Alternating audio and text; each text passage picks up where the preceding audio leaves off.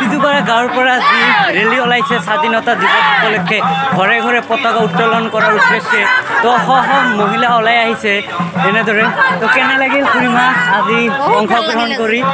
বহুত ভাল বহুত ভাল লাগিছে। আজি আমাৰ ইমান আহ, আনন্দ ফূৰ্তি লাগিছে। কি ক'ম আৰু? কেনে লাগিছে খুৰীমা আজি যোগদান কৰি? ভাল লাগছে। কেনে লাগিছে এতিয়া ধুনীয়া লাগছে। ভাল হৈছে কেনে লাগিছে খুৰীমা? বহুত ধুনীয়া লাগিছে?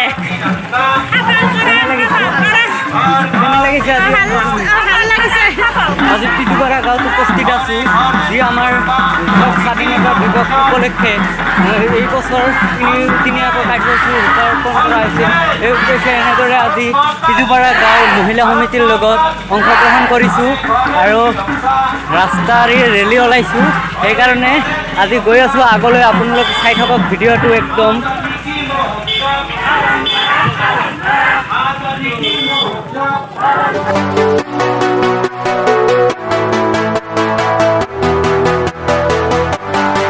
বৰ্ষৰ স্বাধীনতা আন্দোলনৰ লগত মহিলা সমাজৰ কি অৱদান আছে সেয়া আপোনালোকক হয়তো নতুনকৈ কোৱা প্ৰয়োজন নাই। এইখন অসম যিখন অসমত জন্ম হৈছিল বীৰ বীৰংগনাৰ এক ৰম্য ভূমি এইখন অসম। ইয়াতে কনকলতাৰ দৰে বীৰ শ্বহীদৰ জন্ম হৈছিল যিয়ে নিজৰ দেশ মাতৃক ৰক্ষা কৰিবৰ কাৰণে হাতত তিৰংগা পতাকা তুলি লৈ গহপুৰ থানাত পতাকা উত্তোলন কৰিবলৈ গৈ শ্বহীদ হৈছিল। আৰু আজি তেওঁলোকৰ কাৰণে হয়তো আমি এইখন দেশৰ মুক্ত নাগৰিক হিচাপে ঘূৰি ফুৰিব পাৰিছোঁ। সঁচাকৈ ধন্য আমি।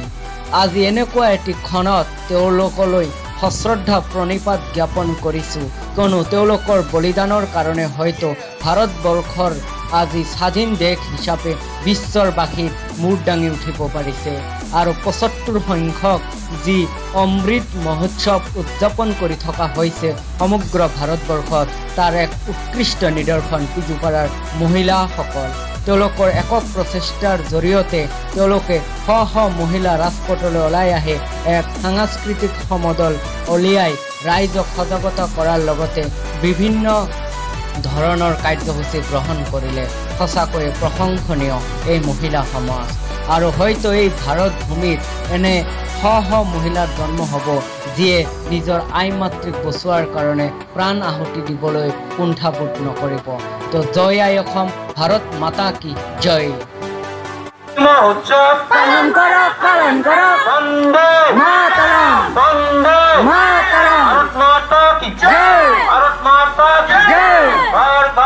ঘৰ তিৰঙ্গা পালন কৰক পালন কৰক ঘৰ ঘৰ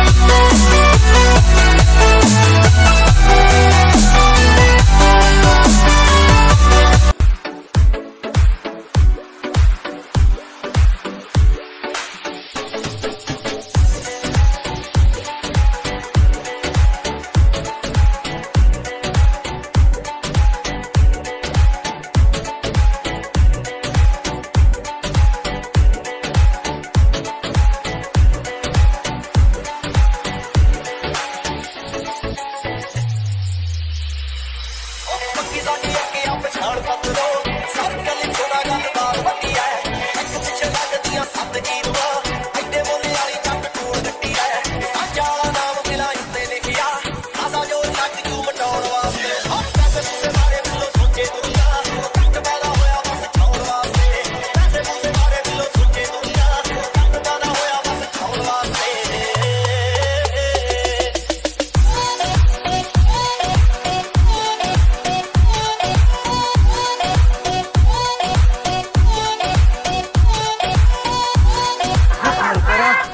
গাইজ ফাইনেলি এতিয়া গন্তব্যস্থান পাই যাম আৰু বেছি দূৰ নাই।